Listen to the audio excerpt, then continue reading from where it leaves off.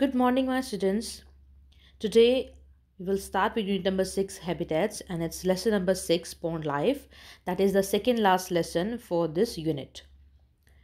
You have to refer to your science textbook page number 72 and page number 73 just to give you a recap of the lessons that we have studied so far in the beginning i studied i taught you about the habitats and homes. Then we i taught you what are the carnivores which animals are called herbivores. Then we talked about how the animals and plants are adapted to their different habitats. And in the last lesson we discussed that how the pavements old bricks and old walls becomes the habitat for many of the plants and many of the animals.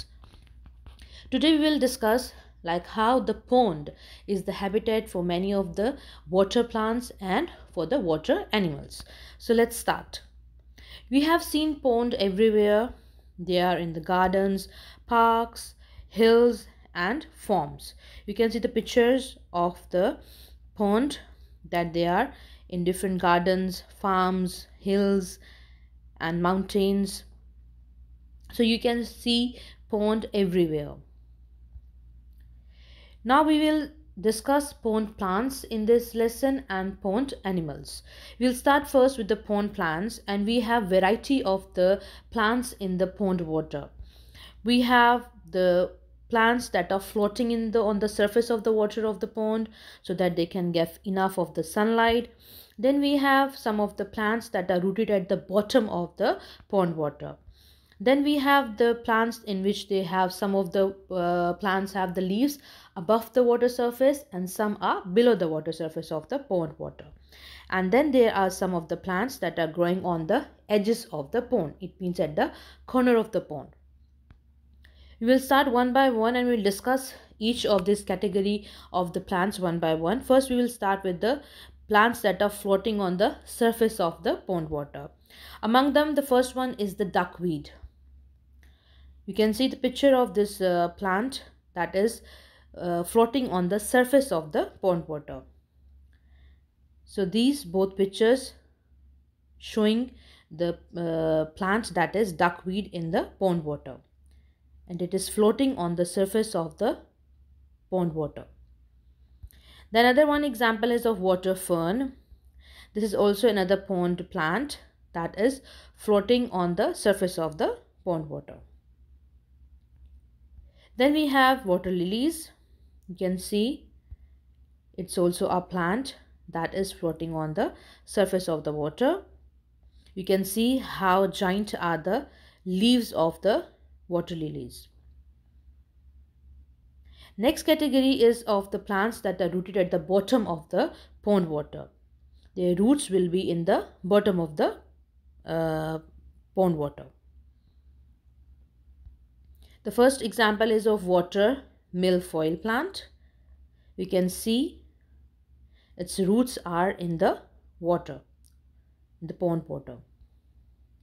This is also the same example, the picture of the water milfoil. So it's a plant in the pond water whose roots, roots are rooted or in the bottom of the pond water. Next is Canadian pondweed you can see the picture of this plant this one is also the example uh, the picture for the canadian pondweed so canadian pondweed and water milfoil are the plants that are the whose roots are uh, rooted or they are in the bottom of the pond water Next category we have for the pond plants that they have the leaves. Some of the leaves are above the water surface and some are below the water surface. The example is of water crowfoot.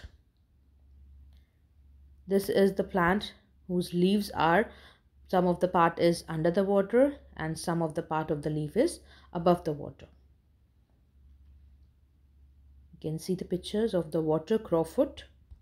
Next is water arrowhead this is also a plant whose uh, roots are whose uh, some of the leaves are above the water surface and some of the leaves are below the water surface you can see this one so water arrowhead and water crowfoot they are the plants whose some of the leaves are above the water surface and some of the uh, uh leaves are um, below the water surface.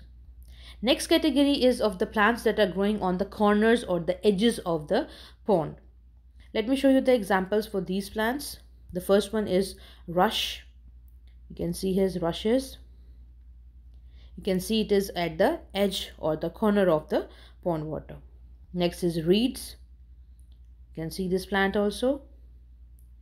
So it grows around the edges of the pond water.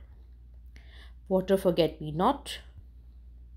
You can see this plant also growing at the edge of the water pond, uh, pond water.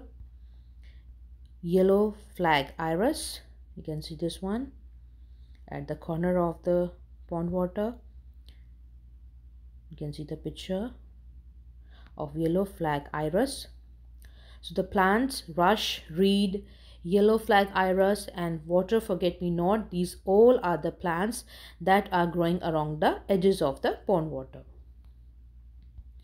Now we will come towards the animals that are in the pond water. Like it goes on the same sequence, like there will be the plants, there will be the animals who will be eating the plants and they are the herbivores. And then these herbivores will be become the food for the uh, water animals for the carnivores.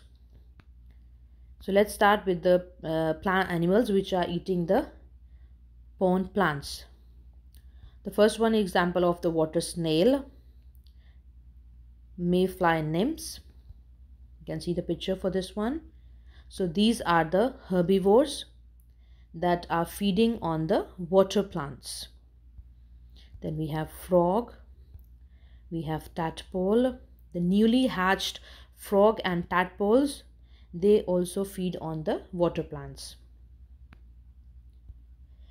Next is, as I told you, that these herbivores will be eaten by the carnivores. So the carnivores that are in the pond water are the water beetle. You can see the picture of a water beetle. Then here is an example of water spider. So these are the carnivores who will be feeding the herbivores in the pond water. We have dragonfly nymphs. We have pond skaters. You can see the picture for these water animals. Again i will repeat these are the carnivores who will be eating the herbivores. Now you can see here water beetle eating the snail water beetle eating the frog so water beetle is a carnivore eating a snail. Here you can see water beetle is eating frog. So it's a carnivore. You can see the example of the food chain in a pond water. You can see shrimp. Its feed is the pond weeds. So it's a herbivore. Then shrimp is eaten by the frog and frog is eaten by the fish the same food chain goes on as in other uh, habitats that herbivores will be eating the plants and then those herbivores will be eaten by the carnivores and then those carnivores will be eaten by the bigger carnivores. You can see some of the birds, duck, they feed on the small water animals and there are some of the animals that will just simply visit the pond to drink the water. Now the pond water uh, protects the animals, the water animals from the uh, land animals. So they are hidden in the water, in the pond water, so they will not be eaten by the land animals. So pond water becomes a protection for the water animals. and the next is that it also protects the all the water animals from the quick temperature changes as the uh, temperature changes of the water uh, changes uh, temperature of the water that changes very slowly as compared to the air so in the winter the water freezes on the surface and down the plants and animals can survive at the bottom of the water without freezing. You can see here the picture. At the surface of the pond water there's a layer of ice. So this underneath this uh, ice the plants and animals are protected from the harsh weather of the winter now you have to refer to the fact alert that is on textbook page number 73 and it's about water lily. You can see these are the leaves of the water lily and this there you can see it's so giant. They're found in africa and you can see a baby is sitting on that leaf. So it's about 2.5 meter of length so it can support the weight of a baby or of a small child. You can see a baby sitting on a leaf. So the leaves of the water lilies are very very bigger one. Just to summarize the lesson for uh, you today we discussed the habitat of a pond and how the plants and animals are living in the pond water. We discussed some of the pond plants in which we discussed that some of the plants that they are floating on the surface of the water. Then we discuss some of the one that are rooted at the bottom of the water pond water. Then we discuss that some of the plants have the leaves above the water surface and some are below the water surface.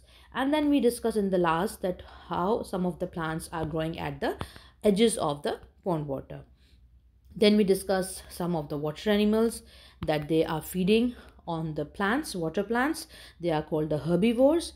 And then there are some of the water animals who are feeding on those herbivores. And they are called the carnivores. And then we discuss the food chain.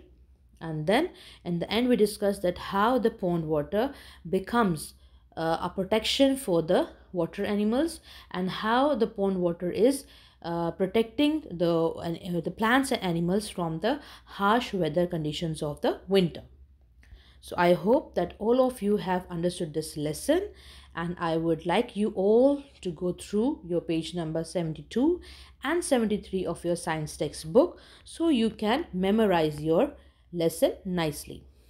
Thank you everyone for listening and for watching the video and I hope you all are safe and fine at your homes. Goodbye.